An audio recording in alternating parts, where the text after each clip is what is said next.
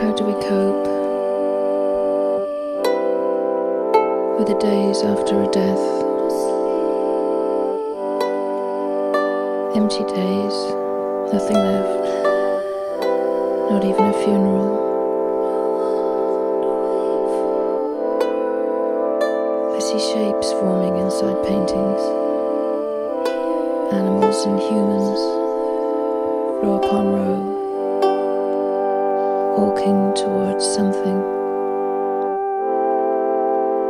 waiting for something. I'm looking for an answer. Me and a million others.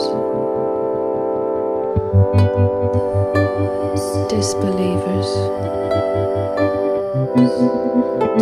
Deserted lovers. Dear God, you better not let me down this time.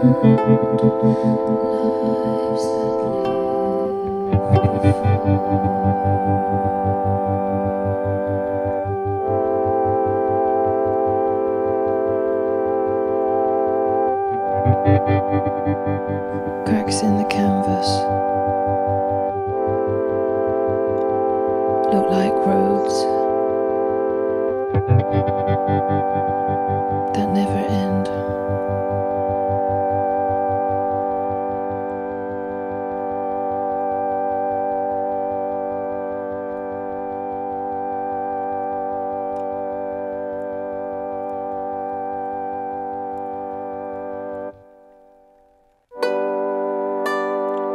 How do we cope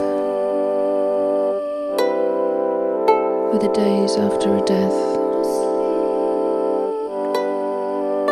Empty days, nothing left, not even a funeral.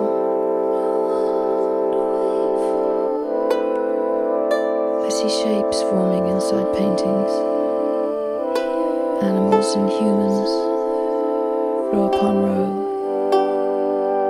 walking towards something, waiting for something.